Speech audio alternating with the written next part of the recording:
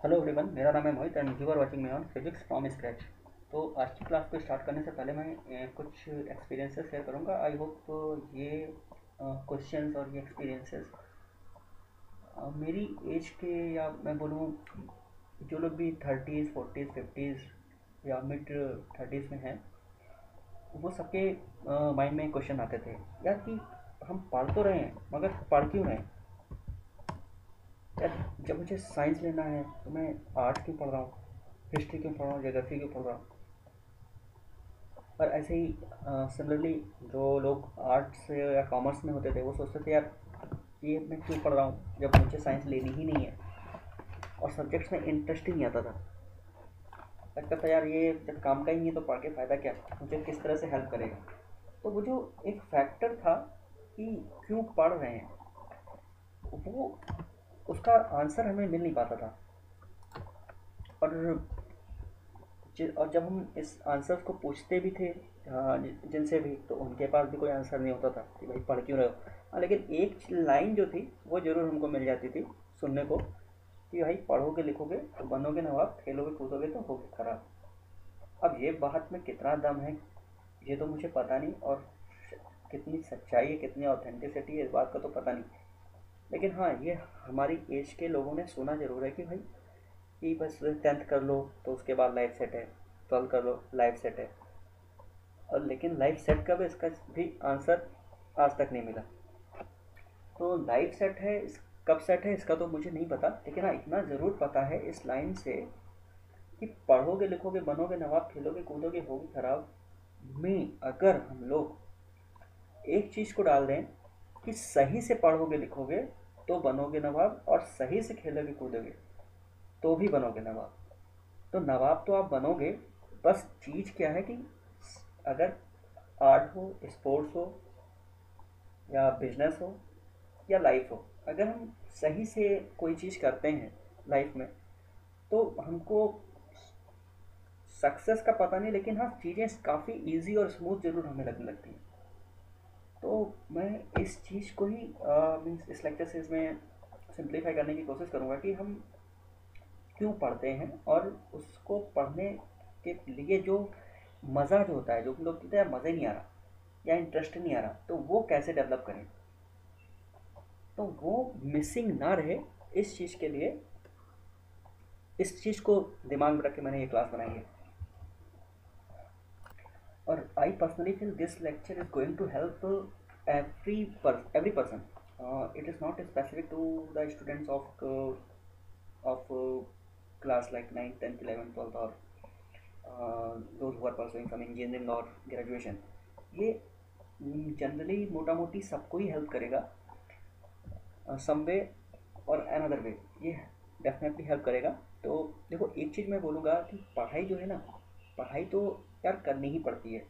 आप चाहे स्पोर्ट्स की फ़ील्ड में लो, चाहे आर्ट्स की फ़ील्ड में हो, आपको बेसिक एजुकेशन उसमें करनी ही पड़ेगी। उसका रीज़न देखो सिंपल क्या है। उसका रीज़न ये कि आप मतलब स्पोर्ट्स खेलते हो तो आप कितना भी प्रैक्टिस कर लो, आप उसमें बेहतर बन जाएँगे। बट अगर आप, जो आपसे बेहतर स्पोर्ट्समैन है, अगर आप उनके एक्सपीरियंसेस को नहीं पढ़ोगे, उनकी टेक्निक्स को नहीं पढ़ोगे तो आप उसको एक लिमिट तक ही एक्सेल कर सकते हो, उसके फर्दर एक्सेल नहीं कर सकते, क्योंकि आपको लोगों की गलतियाँ और लोगों की सक्सेस दोनों से ही सीखना होता है। सिमिलरली फॉर पढ़ाई और अदर आर्ट्स कल्चर सभी फील्ड्स में। तो थोड़ा तो पढ़ाई हर किसी चीज़ में करना है, लेकिन अगर हम पढ़ाई को थोड़ा इंटरेस्टिंग बना लें, हम उसको डॉट्स को मिसिंग डॉट्स को कनेक्ट करने लगें कि यार ये वहाँ से कनेक्ट है, ये वहाँ से कनेक्टेड है, ये चीज़ें इस तरह से प्रोसेस फ्लो कर रहा है। तो शायद थोड़ा इंटरेस्ट भी हम डेवलप कर सकते हैं और चीज़ों को बेहतर समझ सकते हैं। तो जो मज़ा है तो मज़ा हमें डेवलप करना पड़ेगा, मज़ा हमें ढूंढना पड़ेगा पढ़ाई के थ्रू तो पढ़ाई को बोझ बन के नहीं पढ़ना है, पढ़ाई को कनेक्ट करके पढ़ना है कि हमारी जो डेली लाइफ में जो जो चीज़ें हो रही हैं, वो कैसे और किस तरह से हमारी जो इंटरेस्ट है उससे कनेक्ट है। तो मैं इस चीज़ को थोड़ा सिंप्लीफाई करके इसमें समझाने की कोशिश करूँगा। तो चलो हम लोग कुछ अपने प्रीवियस जो हमारे मंथ्स गए हैं, उस पर थोड़ा रोशनी डालते हैं। कि life in last few months तो हमें पता है कि हम लोग कोविड से बहुत ही मतलब ज़्यादा प्रभावित हैं, बहुत ज़्यादा बैडफुली हम लोग इम्पेक्टेड हुए हैं। चाहे कोई भी सोसाइटी का वर्ग हो, सबको लॉकडाउन और कोविड ने सम वे और अनदर वे परेशानी किया है। तो एक चीज़, लेकिन टेक्नोलॉजी के टर्म्स में या साइंस के फ़ील्ड में अगर हम लोग देखें तो कुछ चीज़ें हमने बहुत ज़्यादा यूज़ की हैं। साइंस के टर्म्स में जो रिलेटेड है, जैसे हमने लोगों से कनेक्ट होने के लिए बहुत ज़्यादा मोबाइल फ़ोन और उसके अप्लीकेशंस को यूज़ करना चालू किया है। जूम ऐप हैं और माइक्रोसॉफ्ट टीम्स है गूगल है, ये तीनों ही मैंने बहुत ज़्यादा यूज़ किए हैं। लाइक फॉर ऑनलाइन एजुकेशन अगर ऑनलाइन एजुकेशन को बहुत ही बूम मिला है। तो ये सारा जो है ना, ये ट्वेंटी फ़र्स्ट सेंचुरी में मुझे, हम लोग को एक बात समझ में आती है कि ये जो कुछ फील्ड्स हैं like data communication artificial intelligence और स्पेस ये फील्ड्स का स्कोप अच्छा खासा होने वाला है। और हम लोगों ने जो जितना भी मोबाइल फ़ोन्स और ऐप्स का जो भी, के थ्रू जो भी हम, जब भी हम इंटरनेट से कनेक्ट होते हैं तो जो हम स्टडी करते हैं, ये सारा आता है इस ब्रांच के अंदर that is called internet of things अब ये आई ओ टी या इंटरनेट ऑफ़ थिंग्स है क्या? इसको मैं बहुत तो ऐसा नहीं है कि मतलब बहुत हमको नॉलेज चाहिए समझने के लिए। बहुत सिंपल वे में मैं इसको समझाता हूँ कि इंटरनेट ऑफ़ थिंग्स क्या है? That is internet on things ऐसा बोल सकते हो। इंटरनेट ऑफ़ थिंग्स या इंटरनेट ऑन थिंग्स या इंटरेक्शन ऑफ़ थिंग्स अब इसको और अच्छे से समझते हैं कि जैसे एक ह्यूमन है ह्यूमन के पास पाँच सेंसेस है touch smell hearing taste and eyesight इसके थ्रू हम लोग क्या करते हैं? चीज़ों को सेंस करते हैं एक्सपीरियंस करते हैं और उसको फिर कम्युनिकेट करते हैं, उसका रिस्पॉन्स देते हैं। अब जो नॉन लिविंग थिंग्स है, उनकी बात करें तो दे कांट कम्युनिकेट बट क्योंकि they can because they can't sense तो अगर ये सेंस करें और कम्युनिकेट करने करने लगे। तो that branch is known as internet of things तो सिंपल वे में समझा जाए कि जिस चीज़ में भी सेंसर इन्वॉल्व है सेंसर्स इन्वॉल्व है, अगर कोई भी चीज़ है जिसमें मैंने सेंसर्स को इन्वॉल्व कर दिया देन इट कैन सेंस तो सेंसर को इन्वॉल्व करके चीज़ों को सेंस करना और फिर उससे जो इन्फॉर्मेशन प्रोड्यूस हो रही है, उसको गैदर करना और कम्युनिकेट करना that is internet of things बहुत ही सिंपल शब्द मैंने समझाया। अब जरा और समझते हैं कि हमारे लाइफ में कैसे इसका इम्पैक्ट है। जैसे हम लोग स्मार्टफ़ोन यूज़ करते हैं वेरेबल डिवाइसेज यूज़ करते हैं स्मार्ट सिटीज़ हो गई एवरीवेयर इन ऑन इंटरनेट और और ऑन डिवाइसेस जहाँ पे सेंसर इन्वॉल्व है, वो सारी चीज़ इंटरनेट ऑफ़ थिंग्स का ही पार्ट है। ठीक है, अब ज़रा हाँ ये पर्सन केविन ऑसन तो ऑस्टन ये मतलब इनको बोला जाता है फादर ऑफ़ आईओटी इन्होंने बहुत ज़्यादा कंट्रीब्यूट किया है। और मैं अपनी लेक्चर से इसमें एक चीज़ का पे एम्फोसाइज करूँगा कि हम जो कुछ भी पढ़ेंगे रिलेटेड टू साइंटिफिक फील्ड्स वहाँ पर जो भी कंट्रीब्यूटर्स हैं साइंटिस्ट हैं, और उनकी क्या कंट्रीब्यूशंस हैं, उन दोनों के ही बारे में पढ़ेंगे। और उनको बहुत ही सीक्वेंसली पढ़ेंगे। लाइक हम लोग बात करें कि सिक्स हंड्रेड से अगर हम लोग देखें, और ट्वेंटी फ़र्स्ट सेंचुरी तक तो कौन कौन से महान लोग आए और उन्होंने क्या क्या कंट्रीब्यूट किया, हमारी सोसाइटी को क्या दिया, और उनकी डेवलपमेंट से हमारे ऊपर क्या इम्पैक्ट आया। पॉजिटिवली और वो और जो नेक्स्ट जनरेशन है, उनको किस चीज़ों पे फोकस करना चाहिए, वो सारी चीज़ों को हम लोग बहुत सीक्वेंस डिस्कस करेंगे। अब आता है कि उसी एक आईओटी ब्रांच से कुछ और चीज़ डेराई हुई हैं, जो ट्वेंटी फ़र्स्ट सेंचुरी में मतलब बहुत बूम में रहने वाली हैं। लाइक डेटा एनालिटिक्स और मशीन लर्निंग और एक है क्लाउड कंप्यूटिंग डेटा एनालिटिक्स और मशीन लर्निंग ये दोनों बहुत इंटर रिलेटेड है। इसमें क्या है? कि डेटा एनालिटिक्स मतलब क्या हुआ कि डेटा को एनालाइज करना। और मशीन लर्निंग मशीन का मतलब क्या है? डिवाइसों डिवाइस जब चीज़ें लर्न करें। हम लोग लर्निंग करते हैं दैट इज़ वन थिंग लेकिन डिवाइसेस भी लर्न करें। अब इसको समझते हैं, बड़ा सिंपल एग्जांपल से। जैसे मैंने बोला कि आईओटी क्या है? डिवाइसेस में सेंसर इन्वॉल्व हुआ। अब सेंसर इन्वॉल्व हुआ तो चीज़ें तो वो डिवाइस जो है, जो मशीन थी that started that thing non living thing started sensing and learning जैसे क्या है मोबाइल की बात करूँ, मैं मैंने मोबाइल में क्या किया, कोई भी प्रोडक्ट सर्च किया या कुछ भी मैंने इंटरनेट पर सर्च किया तो हमको सिमिलरली पॉपअप आने लगते हैं। वो मशीन हमको सिमिलर प्रॉपर करता है। तो वो क्या कर रहा है, हमारे इंटरेस्ट को लर्न कर रहा है। यार, ये बंदे को ये ये चीज़ों में इंटरेस्ट है तो हम इसको इसको, मेरे मास्टर को मतलब जो मुझे चला रहा है इसको ये ये चीज़ें पसंद हैं तो मुझे इसको वही चीज़ें पॉपअप करनी है। तो ये हम लोग को पॉपअप करके देता है। That is known as machine learning और डेटा एनालिटिक्स क्या है कि वो जो डेटा उसने क्या किया, जो हमारे इंटरेस्ट जो हमारा डेटा है, उसको एनालाइज किया और फिर हमको इन्फॉर्मेशन को प्रोसेस करके दिया। तो that is known as data analytics और मशीन लर्निंग ये ब्रांचेस हैं जो हम लोग कंप्यूटर साइंस के अंदर पढ़ते हैं। तो मैंने काफ़ी सिंपल तरह से समझाया है। अब आता है कंप्यूट क्लाउड क्लाउड कंप्यूटिंग अब ये क्या चीज़ है? अब देखो क्लाउड कंप्यूटिंग क्या है कि जैसे हर जितना जितना ज़्यादा सेंसर इन्वॉल्व हो रहा है, जितना लोग इंटरनेट पे आ रहे हैं, उतना ज़्यादा डेटा जनरेट हो रहा है। जैसे हम लोग क्या कि जनरली क्या हम लोग मोबाइल यूज़ करते हैं तो मोबाइल में हमने कोई भी चीज़ें सेव हो रही हैं, जैसे जैसे वो डेटा हमारे मोबाइल में आ रहा है। बट इंटरनेट में जो हम सर्च कर रहे हैं, वो तो हमारे मोबाइल में से नहीं सेव हो रहा। वो क्या हो रहा है कि वो क्लाउड पे सेव हो रहा है। पहले मैं मतलब बहुत फैसिनेटिंग लगता था, यार ये क्लाउड कंप्यूटिंग है क्या मुझे? बड़ा अजीब लगता था कि यार क्या क्लाउड में हम डेटा को कैसे क्लाउड कंप्यूटिंग क्लाउड में हम क्या कर देंगे ऐसा? क्लाउड में कैसे डेटा आ जाएगा? तो ये लगता था। But cloud computing is not जो हम लोग का इन्वायरमेंट का क्लाउड है। क्लाउड कंप्यूटिंग में क्या होता है कि जैसे हमारा मोबाइल एक छोटी सी डिवाइस है, इसका अपना प्रोसेसर है, अपना रैम है, अपना स्टोरेज है तो उसमें वो डेटा को प्रोसेस करके हमको देता है। ऐसे ही जब क्या होता है डेटा बहुत जो इंटरनेट पे क्या, बहुत सारा डेटा है। जब वो कहीं पे स्टोर हो प्रोसेस हो और हम तक आए कम्युनिकेट होके तो वो सारा चैनलाइज जब होता है दैट इज़ उसके लिए क्या बहुत बड़ी बड़ी मशीनें चाहिए, बहुत बड़ी डिवाइस चाहिए, जिसका स्टोरेज ज़्यादा हो प्रोसेसिंग पावर ज़्यादा हो सीपीयू ज़्यादा हो स्टोरेज ज़्यादा हो। वो बड़े बड़े हम अगर डिवाइसेस बोलेंगे, उनको एक्चुअली बोला था बहुत ह्यूज सर्वर उनको बोलते हैं क्लाउड कंप्यूटिंग का कॉन्सेप्ट जैसे मैंने यहाँ पे बताया मोबाइल है मोबाइल का अपना स्टोरेज है एप्लीकेशन हम लोग सर्च करते हैं तो वो क्या होता है मोबाइल में स्टोरेज में आता है। ऐसे क्या कोई इंडस्ट्री काम कर रही है तो उसका जो डेटा है, उसका डेटा सर्वर पे आता है। सर्वर क्या है? आप कंप्यूटर का सोचो कि ब्रॉडर वर्जन, सर्वर है, उसमें ऐसे ही इसका जब बहुत सारे कंप्यूटर सॉरी, सर्वर्स को, का कॉम्बिनेशन करके एक सर्वर बनाएँगे that can be known as cloud computing ये बहुत सिंपल तरह से मैंने समझाया। अब इस, अब क्या है कि क्लाउड कंप्यूटिंग के लिए जो बड़े बड़े सर्वर्स हैं, उसकी भी अपनी एक कॉस्ट आती है, क्योंकि इतना बड़ा सर्वर को सेटअप करना। तो आपको क्या है कि, और इसमें क्या बहुत सारा डेटा है बहुत इंपॉर्टेंट डेटा है। आप आजकल आप लोग बहुत न्यूज़ में सुनते हैं डेटा सिक्योरिटी डेटा थेफ्ट ये बहुत चैलेंजिंग चीज़ है कि डेटा कंप्रोमाइज़ ना हो किसी की सिक्योरिटी कंप्रोमाइज़ ना हो।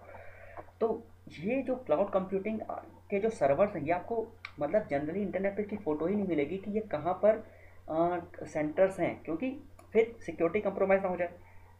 या कोई आ, मतलब कैलामिटी ना हो जाए कोई कुछ उसमें मतलब डिस्ट्रॉय ना कर दे उसको। ये सारी चीज़ों का बहुत ध्यान रखना क्योंकि बहुत कॉस्टली होता है और बहुत ही सिक्योर्ड रखा जाता है इसको। तो अगर मैं बात करूँ कि इस फ़ील्ड में कौन कौन सी बड़ी बड़ी इंडस्ट्रीज़ हैं, जिन्होंने अपने कदम जमा रखे हैं? जैसे अमेज़न बात करते हैं। अमेज़न को हम लोग जानते हैं रिटेल बिज़नेस में तो है ही। उसके अलावा इसने क्या किया है कि सर्वर्स बना रखे हैं। मतलब बहुत हैवी हैवी सर्वर या बोल सकते हैं क्लाउड कंप्यूटर्स बना रखे हैं, जिसके थ्रू हम लोग को सर्विस प्रोवाइड करता है। ऐसे आई है। आई ने अपना बना रखा है। माइक्रोसॉफ्ट का ये एजूरे जो है माइक्रोसॉफ्ट का ऐसे गूगल ने भी अपना क्लाउड तैयार किया है। तो ये लोग क्या करते हैं कि ये देखो, इससे हेल्प क्या हो रही है? सबसे मैं समझते इसका फ़ायदा क्या है? इसका फ़ायदा क्या है कि सपोज़ जैसे मान लो कोई नया एक बच एक नए कोई बच्चों की टीम है जो कोई बिज़नेस स्टार्ट कर रहे हैं। अब उन्होंने क्या किया कि अब उनको क्या है कि अगर बिज़नेस स्टार्ट करना है तो अपने एम्प्लॉयज़ का डेटा या अपनी जो भी सेलिंग है परचेजिंग है, उसका एक डेटा का रिकॉर्ड रखने के लिए उनको कहीं ना कहीं चाहिए स्टोर स्टोर करने के लिए। और जैसे जैसे उनका बिज़नेस ग्रो होगा तो वैसे वैसे लोग और मतलब लोग बढ़ेंगे और ज़्यादा इंफॉर्मेशन बढ़ेगी डेटा बढ़ेगा तो उसको भी स्टोर करना है प्रोसेस करना और ये भी इंश्योर करना है कि उनका, जैसे बैंक की बात करो तो बैंक क्या है कि बैंक का server twenty four cross seven available रहता है। तो हम लोग कभी भी रात में नेट बैंकिंग यूज़ करें, कभी भी यूज़ करें मैक्सिमम टाइम हमको वो सर्विस देता है। तो वो क्या है कि उसका एक अपना सर्वर है जो वो twenty four cross seven operate हो रहा है, उसके लिए उसने इंफ्रास्ट्रक्चर पे इन्वेस्टमेंट किया हुआ है। उसने ऐसे सर्वर्स रखे हैं, उसका मेंटेनेंस सिक्योरिटी ये सारी चीज़ें वो लोग, एक कॉस्ट लगती है, वो सारी चीज़ें मैनेज करते हैं। बट एक नए बिजनेसमैन के लिए क्या इतना ईजी है, इतना इंफ्रास्ट्रक्चर पे पैसा खर्च करना? तो इस थॉट को यूज़ करके इन लोगों ने क्या किया कि इन्होंने सर्वर पे पैसा इन्वेस्ट किया और उस सर्वर को रेंट पे देना स्टार्ट किया। कि जैसे मुझको चाहिए या आपको चाहिए, किसी को भी चाहिए, अगर वो चाहे कि इनसे कुछ सर्वर का एक पोर्शन ये ले सकते हैं अपनी रिक्वायरमेंट के हिसाब से। उसका बिज़नेस छोटा तो छोटा सा और वो क्या कहते हैं सर्वर ले सकते हैं, जिसमें अपनी डेटा उसको रेंट पे ले सकते हैं। तो जितना यूज़ किया, उतना चार्ज पड़ा। अब जब यूज़ नहीं कर रहे तो पैसा तो चार्ज नहीं लगेगा।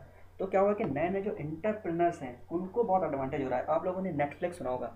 तो नेटफ्लिक्स ही, भी ये ए डब्ल्यू एस अमेजन की जो ए डब्ल्यू एस क्राउड है, उस पर ही होस्ट है।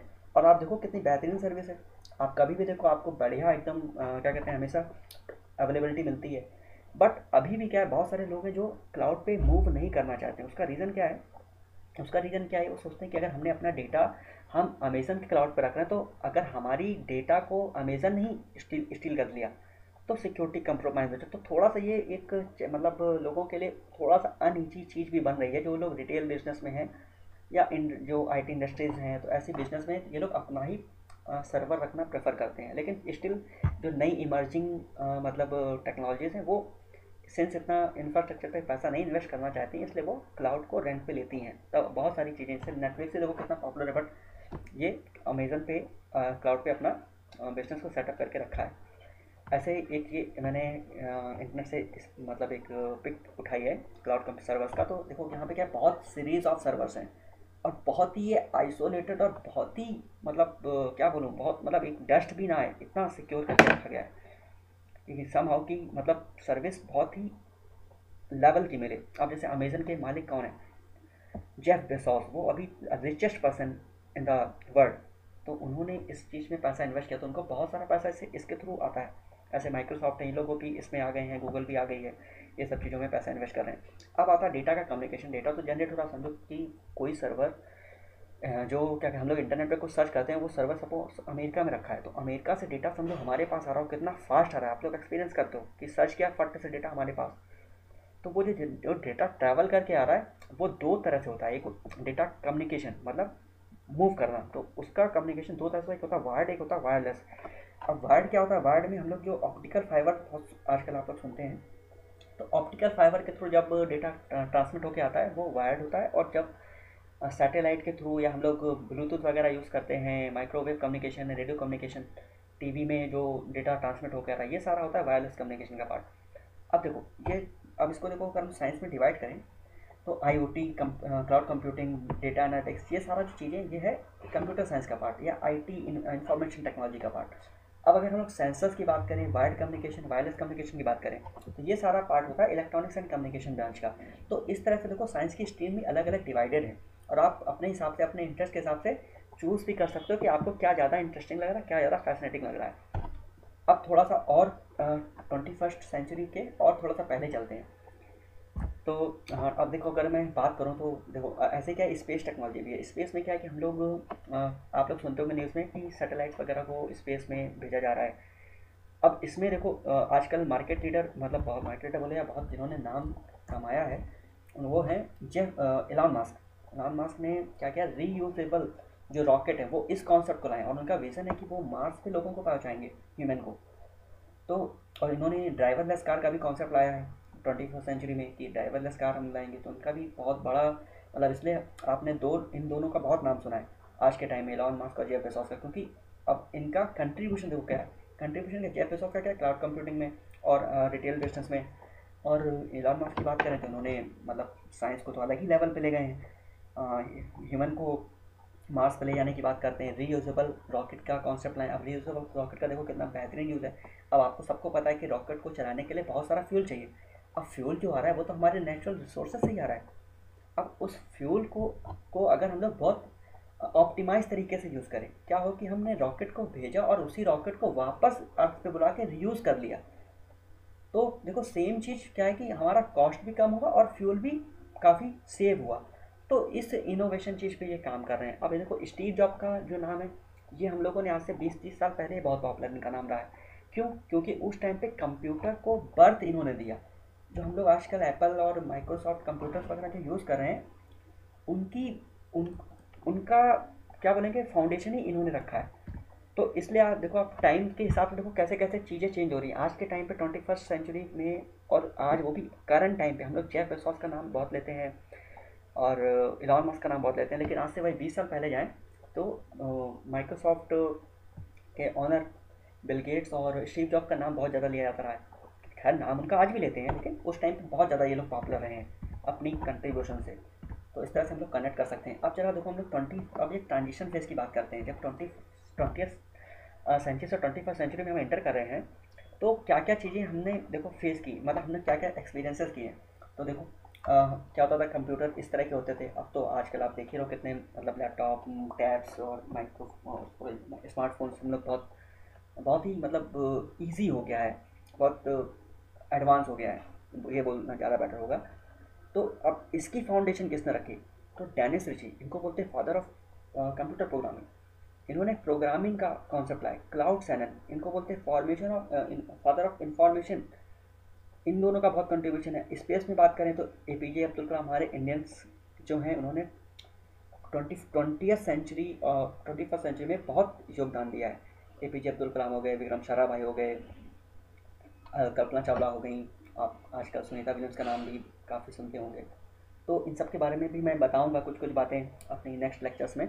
अब आता है अब मैंने देखो दो नाम थोड़े पहले पुराने लोगों के रखे हैं। एल्बर्ट आइंस्टीन और जेम्स मैक्सवेल। तो इनको रखने का मेन मकसद आप लोग आगे लेक्चर में मैं आपको बताऊँगा कि मैंने इनको यहाँ पे ही पुट किया। पुट किया पुट क्यों किया? इसका आ, सिंपल अगर मैं बोलूँ तो ये रीज़न है कि ट्वेंटी सेंचुरी में जो भी हम डेवलप कर रहे हैं ट्वेंटी फ़र्स्ट सेंचुरी में और ट्वेंटी सेंचुरी में तो उसका फाउंडेशन इन लोगों ने रखा। कि जैसे आ, मैं आपको थोड़ा और ब्रॉडर सेंस में बताता हूँ कि इंटरनेट आया हमारे पास। देखिए इंटरनेट आया कैसे? उसमें जेम्स क्लर्क मैक्सवेल का बहुत बड़ा कंट्रीब्यूशन है। इन्होंने ही इस चीज़ को बताया कि light is an electromagnetic wave तो वेव ये लाइट को लाइट की स्पीड बहुत ज़्यादा है और वो इलेक्ट्रोमैग्नेटिक वेव की तरह हम इसको यूज़ कर सकते हैं। इसलिए रेडियो वेव माइक्रोवेव इंटरनेट तब से ही तो ये कम्युनिकेशन का फैक्टर और आईटी जो इंडस्ट्री है, या बोले इंफॉर्मेशन टेक्नोलॉजी जो बूम स्टार्ट हुआ, वो इनके ही इस कॉन्सेप्ट को डिसाइफर करने से हुआ कि light is an electromagnetic wave. और अल्बर्ट आइंस्टीन का क्या बोला? इन्होंने क्वांटम थेरी और रिलेटिव थेरी पे रिलेटिव वेलोसिटी इस सब का थ्योरी ऑफ़ रिलेटिविटी पे इम्फेसाइज किया। तो इसका भी अपना स्पेस फैक्टर में बहुत बड़ा यूज़ है। इसलिए मैंने यहाँ पे इनके नाम रखे हैं। तो आप देखिए, ज़रा कनेक्ट कीजिए कि कैसे कैसे चीज़ें मतलब आगे बढ़ रही हैं। कि James Maxwell, Albert Einstein, Dennis Ritchie, Claude Shannon and क्या बोल सकते हैं? माइक्रोसॉफ्ट में बिल गेट्स और स्टीव जॉब दैन आज के टाइम टाइम्स में जेफ बेजोज और इलॉन मार्क तो इस तरह से लोग मतलब टेक्नोलॉजी जैसे से इवॉल्व हो रही है, लोगों का भी कंट्रीब्यूशन उस तरह से बढ़ रहा है. और मैं और पीछे जाता हूँ. अब देखो टेलीफोनिक का जो एवोल्यूशन है, इसको देखिए. मोबाइल फ़ोन से हम लोग स्मार्टफ़ोन पे आ गए.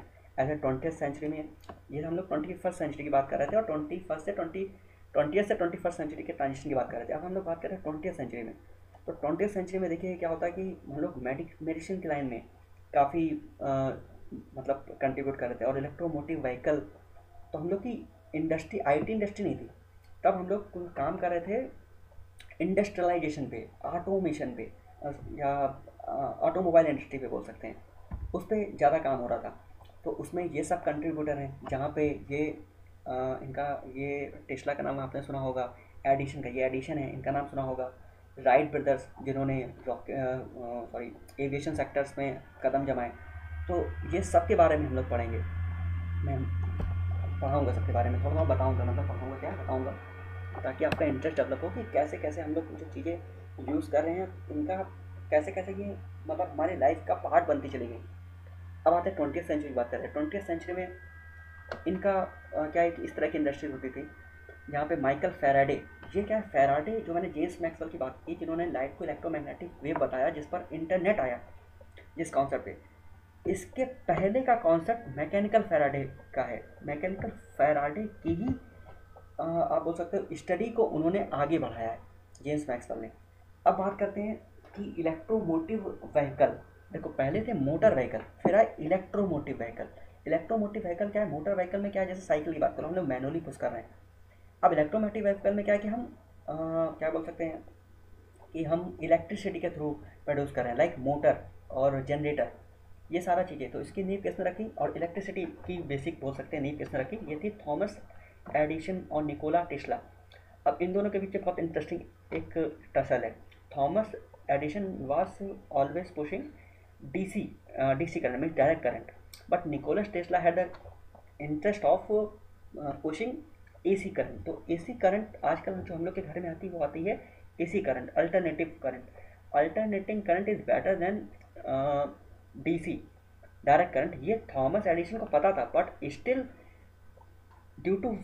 losing his market he uh, was uh, means trying to mm, what is the push uh, means not supporting Nikola Tesla concept of on AC तो बट इन्होंने बाद में रिवील किया कि नहीं, मुझे पता था कि एच का ज़्यादा ज़्यादा चीप है और ज़्यादा लोगों के लाइफ में इम्पैक्ट डालेगी। बट ये उनका कन्फेशन था कि हमें ये थोड़ा सा गलत कर रहा था। ऐसे ही हैनी फोर्ड है। हैनी फोर्ड ने क्या किया कि इन्होंने ऑटोमोबाइल इंडस्ट्री में भाई कार बना कार बना दी सबसे पहले। तो इनका बहुत बड़ा योगदान है। हैनी फोर्ड ये पर्सन का। मैं सबके बारे में बताऊँगा बाद में। जैसे क्या ही देखो, उस टाइम पर सेंचुरीज अगर हम लोग नाइनटीन सेंचुरी की बात करें तो नाइनटीन सेंचुरी में देखो, इस तरह की इंडस्ट्रीज़ होती थी, यहाँ पे इलेक्ट्रिसिटी का इन्वॉल्वमेंट नहीं था। केवल क्या था मोटर व्हीकल थे। या बोल सकते आप फ्यूल से चलने वाले कोल से चलने वाले व्हीकल बर्निंग जैसे जेम्स वॉट का नाम ले सकते हैं। जेम्स वॉट ने क्या किया था स्टीम इंजन की खोज की थी, फिर auto engine sorry petrol engine diesel engine आ गए। तो इंजन का कॉन्सेप्ट इन्होंने लाया ये भी बहुत ज़्यादा ज़रूरी था इंडस्ट्रियलाइजेशन को मॉडर्न बनाने में। और इसके और पहले चले तो ऐसे हमारी sixteen century sorry seventeen century की बात करें सेवनटीन सेंचुरी में जो मेज़रमेंट है और जो जेमेट्री की बात करते हैं, वो यहाँ पर डेवलप हुआ था।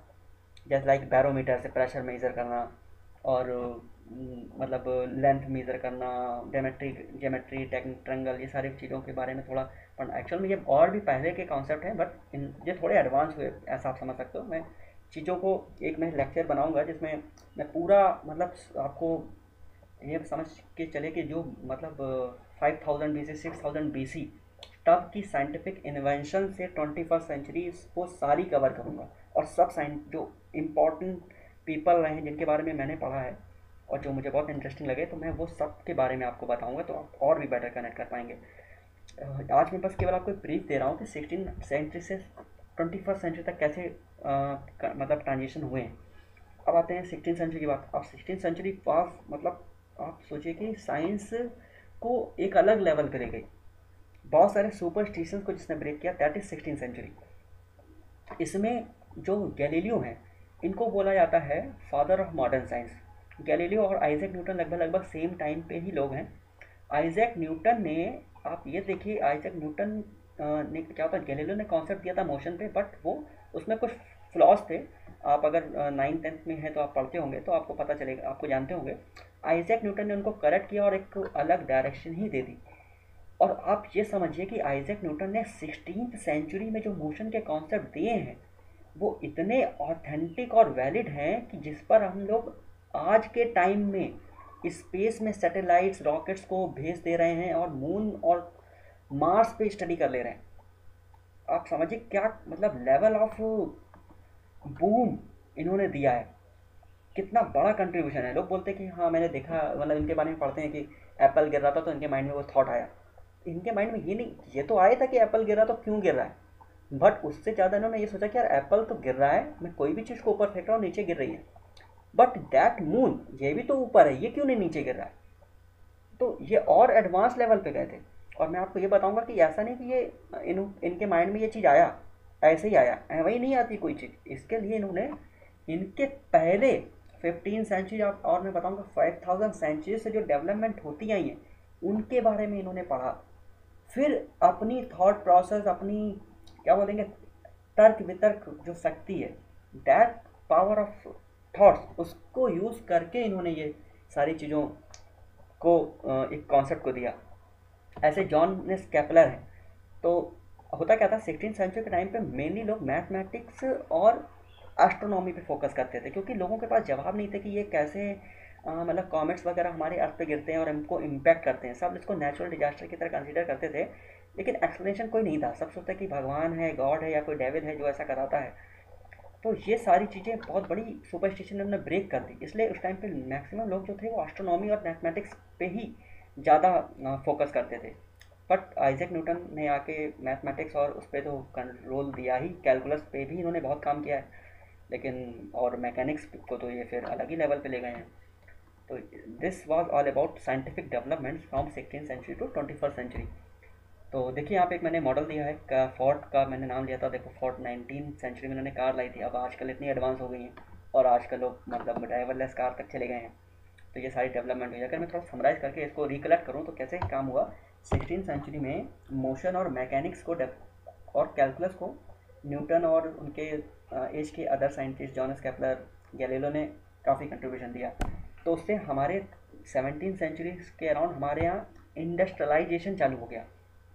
उसके पहले तक लोग केवल आ, मतलब एग्रीकल्चर पे फोकस होते थे खाना मतलब अनाज उगाया खाया। लेकिन उसको इंडस्ट्रियलाइज कैसे करना है? ये तब कॉन्सेप्ट आया जब न्यूटन ने इतनी बड़ी अचीवमेंट लोगों को दी। उसके बाद क्या हुआ? फिर पहला आपने कुछ एक साइंटिस्ट तो मेनली सुन लिया, न्यूटन। उसके बाद आते हैं आपके माइकल फेराडे। माइकल फेराडे ने क्या किया? उन्होंने इलेक्ट्रिसिटी या बोल सकते हैं आप ऐसा सोचिए कि इलेक्ट्रिसिटी को थोड़ा इलेक्ट्रिक फ़ील्ड और मैग्नेटिक फ़ील्ड को डिस्क्लोज किया। उनको उसको समझा। तो क्या हुआ कि इलेक्ट्रोमोटिव व्हीकल चालू हो गए। मशीन्स थी, वो चालू हो गए। और पैरेलली क्या था? एक, हम मतलब जेम्स वॉट जिन्होंने इंजन पे काम कर दिया तो फिर वहाँ से फ्यूल इंजन पे काम हो गया petrol engine steam engine diesel engine फिर इलेक्ट्रिक इंजन और इलेक्ट्रिक जनरेटर मोटर वो सब आ गया। अब उसके बाद आते हैं जेम्स मैक्सवेल जिन्होंने क्या हुआ कि आ, इस चीज़ को डिस्क्लोज किया कि light is an electromagnetic wave तो वो लाइट को को उन्होंने वेव की तरह मतलब अंडरस्टैंड किया और उस कॉन्सेप्ट को आगे बढ़ाया। तो जिससे क्या हो कि हमारा इंटरनेट का बूम आ गया। तब हम लोग इसलिए ट्वेंटी सेंचुरी नहीं ट्वेंटी फ़र्स्ट सेंचुरी हम लोग आईटी इंडस्ट्री की बात करते हैं। इंडस्ट्राइजेशन जो है वो मतलब आप कम्युनिकेशन इंफॉर्मेशन सेक्टर में चला गया। आप इसलिए देखोगे जितनी भी बड़ी बड़ी कंपनियाँ हैं टीसीएस हैं और मीन्स सी टी हैं और आई बी एम ये सारी जो कंपनीज़ हैं जो आई टी सेक्टर में काम करती है सब नाइनटीन सिक्सटी सेवेंटीज़ के टाइम प्रो ये सब नाइनटीन सिक्सटीज़ के टाइम पे ही स्टार्ट हुई हैं। तो ट्वेंटी सेंचुरी का और ट्वेंटी फ़र्स्ट सेंचुरी का ट्रांजिशन फ़ेज़ बोल सकते हैं इसको। तो अब अब ज़रा इसके पहले जाएँ थोड़ा तो हम लोग समझते हैं कि लाइफ मतलब ह्यूमन का रोल क्या है? लाइफ ऑफ़ ह्यूमन तो देखो, हम एक चीज़ जानते हैं कि ह्यूमन ही एक ऐसा मतलब जीव है जो इवॉल्व कर रहा है टाइम के साथ में। अदर स्पेसिस इवॉल्व नहीं कर रही आप अगर 400 साल आप आज से 100 साल पहले अपने, अगर सोचे कि आपको ऐसा चांस मिले कि आप 100 साल पहले जो आपके दादा परदादा बोलेंगे ग्रांड ग्रांड फादर उनसे आप अगर मिलो तो वो अगर आज की, आपकी, आज की लाइफ स्टाइल को देखेंगे तो कहेंगे या तो मेराकल है, एकदम मतलब बिल्कुल लग रहा है तो भगवान हो गए इस तरह से इतना चीज़ें रोबस्ट हो गई हैं। और आप ये सोचो कि आज से सौ साल बाद जो आपकी नेक्स्ट जनरेशन आने वाली है ग्रेट ग्रांड चिल्ड्रन वाली, वो समझिए कितना टेक्नोलॉजी में एडवांस हो गया तो हम लोगों के लिए वो जो कर रहे होंगे that will be like a god कि क्या अलग लेवल पे चीज़ें करते हैं। तो एक चीज़ लेकिन अगर हम वही सौ साल, चार सौ साल पहले देखें तो जानवर जो हैं मतलब एनिमल्स जो हैं उनके लाइफ में कोई आपको ऐसा नहीं दिखेगा कि वो एडवांस हो गए हैं। उसका रीज़न क्या था? इसको थोड़ी देर सोचिए, फिर मैं बताता हूँ। उसका रीज़न ये है कि ह्यूमन के जो हैंड हैं, उसको एक एडवांटेज मिला कि he has the ability to write तो जो भी उसकी रिसर्च या फाइंडिंग्स होती थी, वो उसको कहीं ना कहीं लिख देता था स्टोर कर देता था। और उसको डिसाइफर करके ही हम लोग धीरे धीरे एडवांस हुए आप सोचिए, अगर हमने न्यूटन के वर्क को, आपके फेराडे के वर्क को, मैक्सवेल के वैक्स को के वर्क को अगर इन्होंने इस तरह से फॉरवर्ड ना हुआ होता, इस सीक्वेंस में तो आज हम लोग क्या होता, उन्हीं पिछली चीज़ों के क्वेश्चन के आंसर फाइंड आउट कर रहे होते बट इन्होंने वो चीज़ कर दी तो हम लोग प्रिविलेज है कि ऐसे लोगों ने इतना कुछ हम लोग को दे दिया है, जिस वजह से हमको, हम आगे एडवांसमेंट कर सकते हैं। तो जो हमारी, जो जनरेशन है आज की तो उनको उन सभी सभी साइंटिफिक डेवलपमेंट्स को रिस्पेक्ट करना चाहिए और उसको आगे बढ़ाने में अपना कंट्रीब्यूशन देना चाहिए। लाइक like, और दूसरा क्या है? हमारे पास पावर और इमेजिनेशन की बहुत बड़ी ताकत है कि ऐसा है बोलते हैं कि हम लोग जो इमेजिन करते हैं जो जो सोचते हैं लाइक इसको बहुत सिंपल समझाओ तो अगर हम लोग के मन में फियर का ख्याल आता है तो ऐसे और दस ख्याल फियर के आएँगे। अगर हम लोग जॉयफुल का ख्याल लाते हैं हैप्पीनेस का ख्याल आते हैं तो हमारे दिमाग में और हैप्पीनेस के ख्याल आते हैं। Same goes for success and failure अगर आप जितना पॉजिटिव सोचोगे अच्छा सोचोगे तो उतने ही अच्छे थॉट्स आपके माइंड में आएँगे। तो इसको, इस चीज़ को अल्बर्ट आइंस्टीन भी बहुत मानते हैं, जिन्होंने रिलेटिविटी और क्वांटम मैकेनिक्स का बेस रखा। तो अब आते हैं व्हाट इज़ फ्यूचर तो फ्यूचर क्या है? ड्रीम हाउस लेना है या ड्रीम कार ये सारी चीज़ें तो होंगी। या फिर एक natural disaster are we prepare for this तो मैंने देखो, इस चीज़ को डिस्करेज नहीं किया। मैंने एक रियलिटी को यहाँ पे बताने की कोशिश की है कि आज के टाइम में हम ड्रीम हाउस और ड्रीम कास्ट का सपना और विज़न लेते हैं। बट हम क्या तैयार हैं एक पैंडमिक्स और डिजास्टर के लिए? आप देखो, कुछ महीनों में हमारी लाइफ कितनी चेंज हो गई। किसी ने सोचा था ये पैंडमिक्स आएगा। हम लोग तो सोचते थे, हम इतने एडवांस है कि हम तो हर चीज़ को टैकल कर सकते हैं। बट स्टिल हम लोग नहीं टैकल कर पा रहे हैं कोविड सिचुएशन को। ऐसे और भी डिजास्टर अगर कोई आते हैं तो हम उसके लिए प्रिपेयर हो सकते हैं बट उसको टैकल कैसे करना इसका हमारे पास सोल्यूशन नहीं है। या पूरा तरह से इस्केप कर दें तो ऐसा हम नहीं कर सकते। सपोज़ अर्थ में ही ऐसा कुछ हो गया, जैसे अगर हम लोग बात करें डायनासोर्स वो भी तो एक्सटेंट हो गए, और भी स्पीसीज एक्सटेंट हो गई। तो ऐसा ना हो कि अर्थ या ह्यूमन ही एक्सटेंट हो जाए। तो उससे कितना बड़ा लॉस होगा कि जो हमने साइंटिफिक डेवलपमेंट्स की हैं, वो सारा ही इंफॉर्मेशन लूज लूज हो जाएगा। इसलिए जो ट्वेंटी फ़र्स्ट सेंचुरी है तो हमें कुछ चीज़ों पे बहुत ज़्यादा फोकस करना है like protection of our earth तो उसमें इन्वायरमेंट है, हमारा क्लाइमेट है बायोडाइवर्सिटी हम सुन रहे हैं क्लाइमेट चेंज के कारण हमारा जो ग्लेशियर्स हैं, वो मेल्ट हो रहे हैं। वा सी लेवल बढ़ता जा रहा है, जो एयर है, वो पॉल्यूट हो रही है। बट आप क्या देख लो कोई इस पर काम कर रहा है? हम इसको मतलब अभी चीज़ें लग रहा है कि आउट ऑफ़ कंट्रोल होती जा रही हैं। तो डेफिनेटली हमको इस पर तो काम करना ही है कि हम जितना हो कि वार को प्रमोट ना करें, कोई ऐसा न्यूक्लियर वार ना हो जिससे हमारी अर्थ पे इम्पैक्ट आए। और एक चीज़ और हुई है, हम जैसे जैसे साइंटिफिक एडवांसमेंट कर रहे हैं, जैसे हमने सैटेलाइट मैं आपको सिंपल एक जैसे मैंने यहाँ पे लिखा लाइन में safety of of our earth from commerce commerce से हम बचा पाएँगे, नहीं बचा पाएँगे, इस पर भी काफ़ी डेवलपमेंट चल रही है कि हम सोच रहे हैं कि कोई कॉमर्स हमारे पास आ रहा तो हम उसके पास कोई अदर डायरेक्शन में डाइवर्ट कर दें, ताकि वो हमारी अर्थ पे ना आए। तो ऐसे काम चल रहे हैं। ऐसे क्या है? ई वेस्ट ई वेस्ट लेकिन ये क्या है कि ये हमारा ही मतलब प्रोड्यूसर वेस्ट है। इसका नुकसान क्या है कि जैसे हमने कोई भी सैटेलाइट वगैरह भेजी मीन्स स्पेस में तो अब क्या है कि वो उसका एक टाइम पीरियड उसके बाद वो सैटेलाइट काम करना बंद कर देता है। अब क्या हो कि वो वेस्ट तो मगर स्पेस पर रह गया। अगर सम हो वो ग्रेविटेशनल फ़ील्ड से वापस निकल आया आपकी ग्रेविटेशनल फ़ील्ड में एंटर हो गया तो क्या होगा कि वो वेस्ट जो इकट्ठा हो रहा है स्पेस में ऑर्बिट्स में वो वापस ही अर्थ को स्ट्राइक करेगा आगे। और किस लोकेशन पे गिरेगा कितना इम्पैक्ट डालेगा पता नहीं। अभी चाइनीज़ का कोई ऐसा केस हुआ था दो चार महीने पहले की बात है उनका इस, इसको बोलते हैं डेबरीज डेबरीज स्पेस डेबरी वो उनके लैंड पे गिरा था आके और बहुत नुकसान किया था। शायद सी पे गिरा था तो कुछ ह्यूमन लाइफ पे उतना इम्पैक्ट नहीं है बट डेफिनेटली जो आ, मतलब वाटर स्पेसिस है उस पर बहुत बड़ा इम्पैक्ट आया। तो हमें इसके लिए भी रेडी रहना है।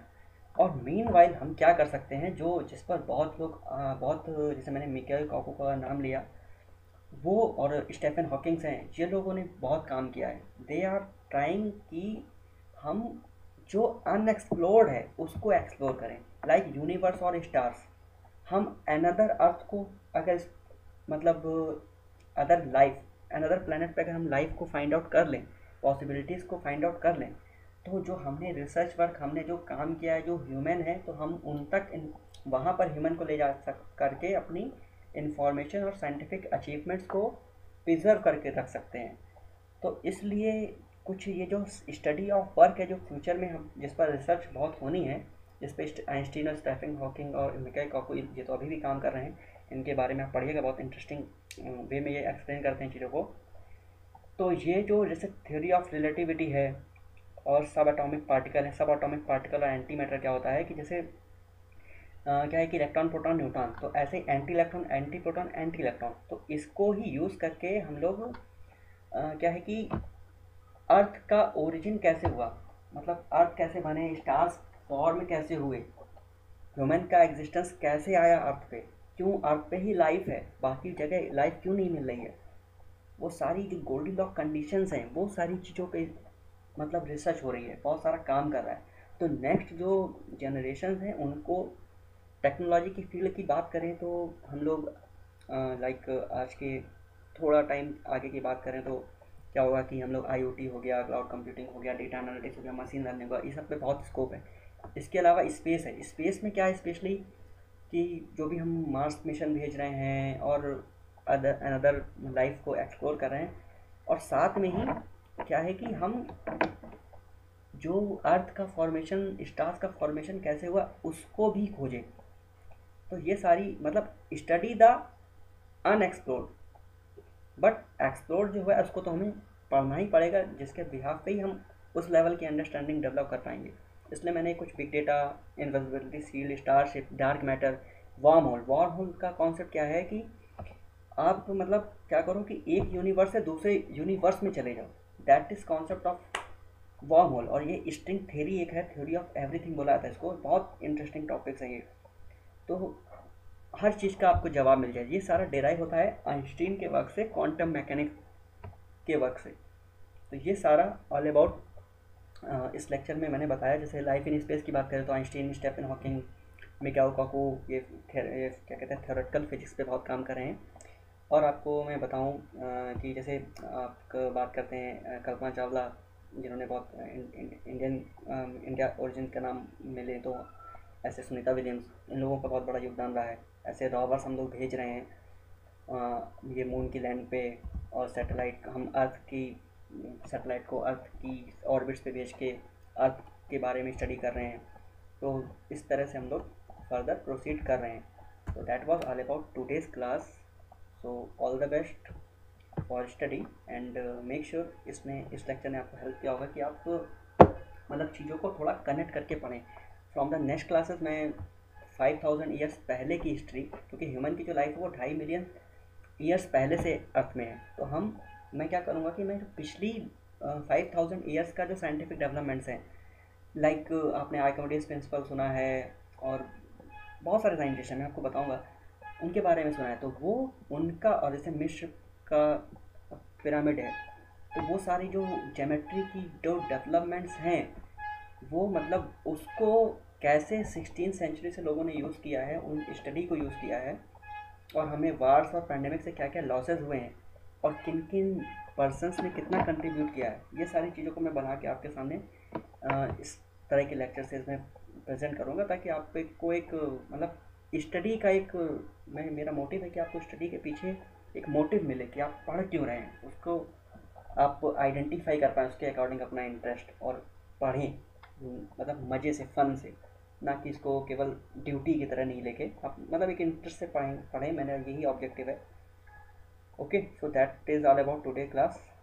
So all the best for your study. Bye bye